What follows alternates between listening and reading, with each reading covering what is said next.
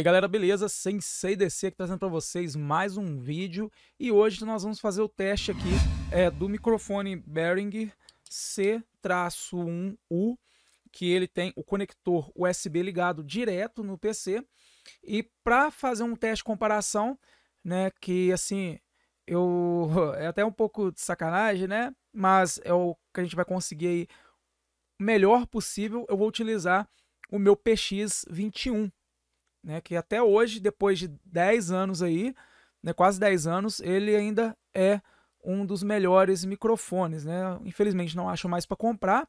Os últimos aí que achava era da China por 400 reais. E se você quiser um microfone bom de headset mesmo, você tem que desembolsar mais de mil reais e compensa mais você comprar um microfone aí, é, condensador ou até mesmo um dinâmico. No entanto, como eu tenho já esse headset, vamos fazer essa comparação aí. E aí vocês dizem qual que vocês acharam é, melhor. E eu vou deixar aí é, também meu parecer no final do vídeo. Depois eu vou fazer também só um review do C1U e vou fazer um review é, do PX21 que eu não fiz no canal. Apesar que quase ninguém vai querer ver porque não há, igual eu falei, não acha mais para comprar, né? Não está mais no mercado. Então vamos lá.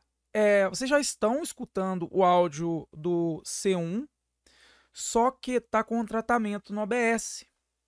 Então nós vamos tirar esse tratamento aqui e escutar o ruído em volta, porque ele é sensível e ele capta o ruído ao redor. Apesar dele ser direcional, essa parte que é onde está o escrito dele, é aonde a voz é captada, ele é um microfone condensador, então ele é, é mais sensível. Recomendado é mais para um estúdio, né? Um, tanto é que a pessoa que eu comprei, ele vendeu porque ele utilizava ele numa cabine. Ele mudou de casa e não tinha mais a cabine para usar. Né? Ele é músico. Então, se ele ligava ali no amplificador, pegava o som da casa inteira, né? Ainda mais que era uma casa conjugada. Então vamos entrar aqui em filtros e desligar os dois aqui.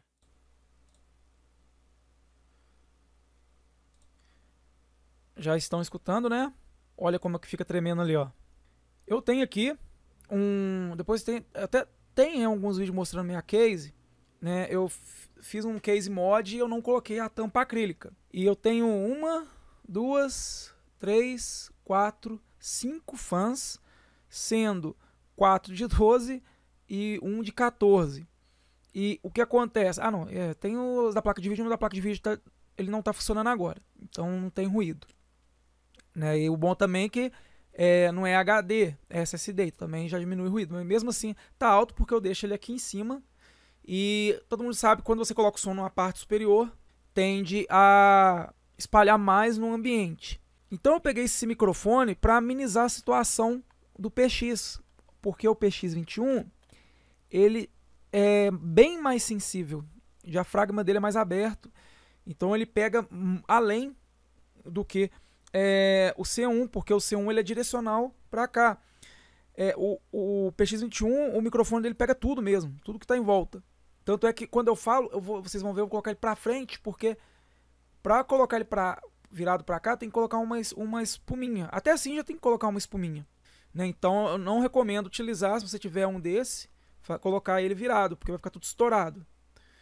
Né? E capta vizinho, bicho, latino a 2 km, é uma confusão. Aí eu falei, não, vou pegar um microfone melhorzinho aqui, né? Até porque eu recebi do canal. E aí a gente consegue uma qualidade é, superior. Né? E sim, eu achei ele um pouco superior do que esse aqui. Nada assim gritante, mas tem uma melhora de qualidade. Então vamos agora pro PX21. Estamos agora no PX21, ele está com tratamento também. E depois eu faço teste dos dois com tratamento para vocês estarem escutando, né, fazendo comparação. Então eu vou também tirar o tratamento e vou modificar aqui, né, alternar os microfones.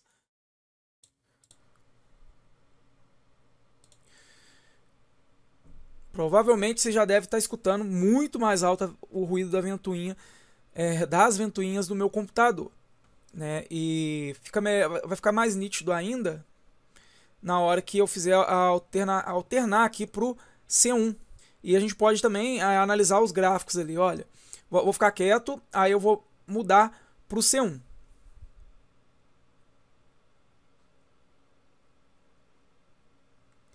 vou ativar os dois, na verdade, que a gente vê essa questão de ruído.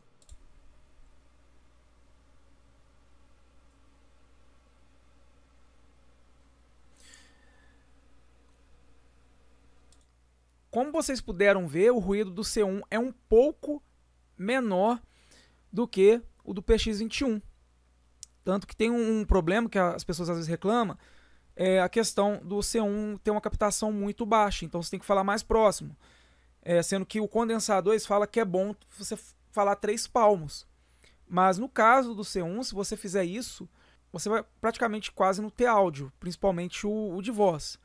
Né? Talvez tocando instrumento, né? um violão, aí faz sentido três palmos, mas a voz é recomendável você falar aí, aí, em média de um palmo, que aí fica bem bacana, né? Ainda mais, melhor um pouco mais distância se você tivesse em pop filter. Tô tentando falar na diagonal para não ter esse problema. E agora eu fui pro PX21, vocês podem ver lá, ó, bem mais sensível, né? Ele passa direto ali do amarelo e vamos ativar os filtros dos dois agora para vocês estarem escutando como fica com filtros dois. O PX21 já está com o filtro. E vamos agora ativar também o filtro do Bering, Behringer C1. E aí a gente vai para o Behringer. Eu resolvi fazer esse vídeo agora porque eu vou pegar o, o PX21 e vou levar ele para a sala que eu vou utilizar ele para fazer stream com meus consoles, porque eu estou utilizando um microfone de fone lá com uma placa de som da Sony, do, do, que veio junto com o headset Silver. E não, não é tão legal. Né? Então, já que eu tô com um microfone bacana aqui para poder estar tá utilizando né, para os vídeos e streamer, eh, vou levar o, esse aqui, vou levar o PX21 lá para a sala. Né? E aí eu vou, depois eu vou ver se arranjo outro headset, mas no momento eu vou usar esse SHF 1900 também um fone antigo, né? Só coisa antiga. Todos esses, é, esses equipamentos aqui, eles têm aí no mínimo 5 anos. Pronto, tá ativado o Behringer, Behringer C1 aqui. E as considerações são o seguinte, que, da minha opinião, vocês podem aí deixar embaixo, é, sem problema nenhum. Eu tenho no canal, se vocês procurarem aí, em 2018, finalzinho de 2018, eu utilizava um microfone dinâmico. É, igual eu falei, o dinâmico ele captura é, justamente apontado. E era um microfone muito vagabundo, né, da Tectoy, onde eu fiz uma adaptação ali para um conector 3.5 para encaixar na placa de captura do meu antigo headset Silver. E se vocês forem ver, ficou muito bom. Né? Eu entrava no CS, por exemplo, na Cal, Aí o pessoal já fala, vai, que voz é essa, né? E, e, porque ele puxa bastante o médio, minha voz não fica uma voz original, mas deixa uma voz com presença. E depois daquilo eu peguei o PX21 porque eu estava precisando de um headset, né? Eu estava utilizando aquele microfone e um esse fone aqui da Philips que eu mostrei para vocês. Mas estava dando muito problema de interferência ali, às vezes eu tinha que ficar mexendo no conector. E aí eu falei, não, tá ficando chato, vamos pegar um. Aí achei esse PX21 no preço bom. Né, há dois anos atrás, usado, foi 180, 190, uma coisa assim. E aí eu fui adquirir ele e não, não arrumei o Tectoy. Então tentei arrumar ele de novo e não consegui. Aí apareceu esse C1 aqui na, na cidade por 250. Eu falei, não, então vou comprar ele. Eu, particularmente, né, talvez eu depois pegue um outro dinâmico.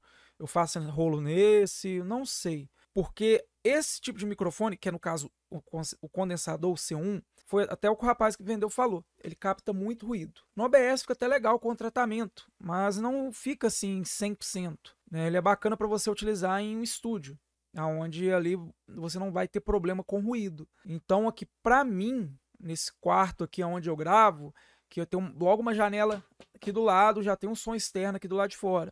Eu tenho criança em casa, eu tenho dois cachorros, tem galinha, tem galo, que passarinho começa já a cantar cedo. Para mim, o melhor foi o dinâmico, né? E mesmo sendo um microfone de má qualidade, né, ficou bom. Vou tentar deixar aí o vídeo para vocês aí de algumas gravações com ele. No caso condensador, esse no caso C1, eu achei ele bom. É, ele tem uma captação é, menor, então assim, consequentemente o ruído é um pouco menor, mas o som dele é mais baixo. O único problema dele é ter que utilizar um pop filter para tirar o P. E não posso colocar uma espuma porque ele já é um microfone relativamente baixo e a espuma vai abafar. Então vai ter que ser um pop filter. Vou ter que ver aqui como que eu resolvo. Ou eu aprendo a falar nele sem direcionar a boca para ele. Em comparação com o PX21, o PX21 ele pega muito som do S, C. Ele você sente que o microfone dele é mais aberto, né? O ele pega muito agudo. É, os sons mais finos, ele capta bastante.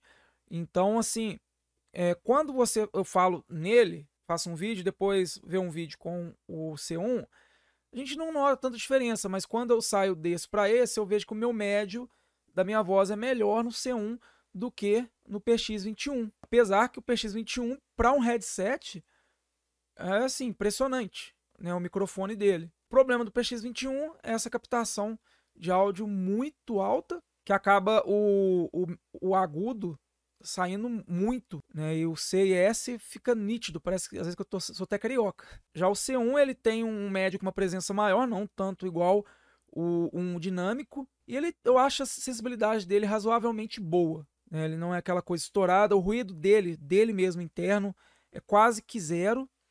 E a captação externa é um pouco baixa, mas eu não recomendo utilizar ele se você não tiver um, um estúdio ou se você não é, tiver aí como fazer o tratamento de som de forma que você não perca tanta qualidade, né? Porque eu noto que eu perco um pouquinho de qualidade com esse tratamento de ruído. Então é isso, galera. Eu espero que vocês tenham gostado aí. Qualquer dica, dúvida que vocês tiverem, pode deixar aí, porque eu, sinceramente, eu não sou nenhum profissional com relação a sons. Né? A única coisa que eu faço aí, que eu mexo com gravação há oito anos, aprendi bastante coisa, mas ainda tem muita coisa para me aprender. Então, é, eu não tenho muita noção de teste, ainda mais que eu não tenho um estúdio. Que eu tenho aqui é esse quarto, com tudo aberto, e eu tenho que me virar com essa questão de ruído.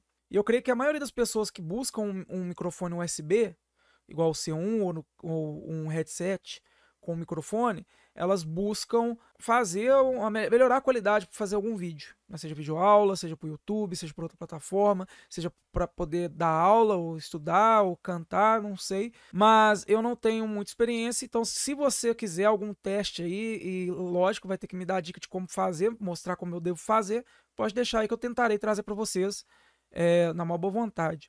Se inscreva no canal se você não é inscrito, ative o sininho de notificação e valeu, galera!